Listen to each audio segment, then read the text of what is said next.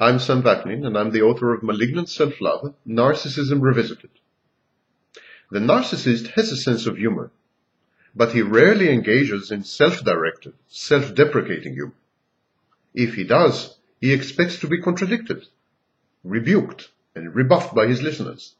He expects to be told, come on, you're actually quite handsome, or brilliant, or perfect. He expects to be commended or admired for his courage, for his wit and intellectual acerbity. I envy your ability to laugh at yourself, he expects people to say. As everything else in the narcissist's life, his sense of humor is deployed in the interminable pursuit of narcissistic supply. Yet to obtain narcissistic supply, one must be taken seriously. And to be taken seriously, one must be the first one to take oneself seriously. Hence the gravity with which the narcissist contemplates himself and his life. This lack of levity and perspective and proportion characterize the narcissist and set him apart. The narcissist firmly believes that he is unique, that he has a mission to fulfill, a destined life. The narcissist's biography is part of mankind's legacy, spun by a cosmic plot which constantly thickens. Such a life deserves only the most serious consideration. It's not a laughing matter.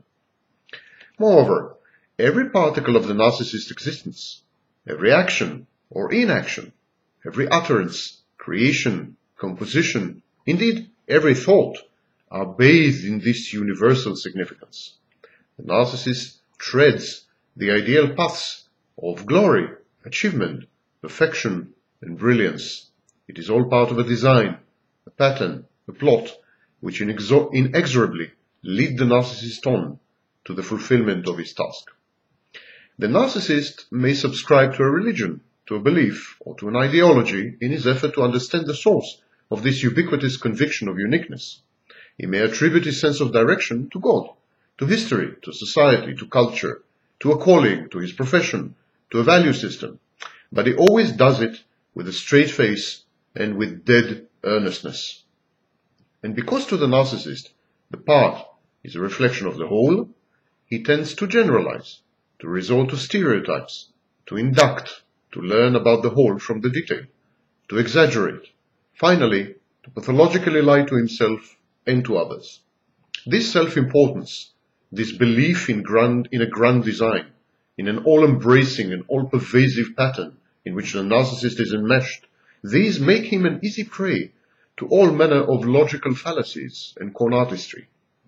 Despite his avowed and proudly expressed rationality, the narcissist is besieged by superstition and prejudice. Above all, he is a captive of the false conviction that his uniqueness destines him to fulfill a mission of cosmic significance.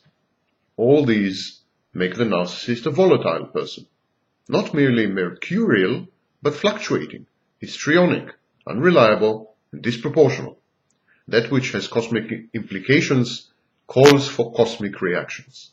A person with an inflated sense of self-importance reacts with exaggeration to threats, greatly inflated by his imagination and by his personal mythology. On the narcissist's cosmic scale, the daily vagaries of life, the mundane, the pedestrian, the routine, they are not important. They are even damagingly, damagingly distracting. This is the source of his feeling of exceptional entitlement. Surely Engaged as he is in benefiting humanity through the exercise of his unique faculties, he deserves some special treatment, is it not? This is the source of the narcissist's violent swings between opposite behavior patterns and between devaluation and idealization of others. To the narcissist, every minor development is nothing less than a portentous omen. Every adversity is a conspiracy to upset his progress. Every setback an apocalyptic calamity every irritation the cause for outlandish outbursts of rage. The narcissist is a man of extremes, and only of extremes. He may learn to efficiently suppress or hide his true feelings and reactions, but never for long. In the most inappropriate and inopportune moments, you can count on the narcissist to explode like a wrongly wound time bomb. And in between eruptions, the narcissistic volcano daydreams indulges in delusions, plans his victories over an increasingly hostile and alienated environment. Gradually, the narcissist becomes paranoid, aloof, detached, dissociative. You must admit, in such a state of mind, there is not much room for a sense of humor.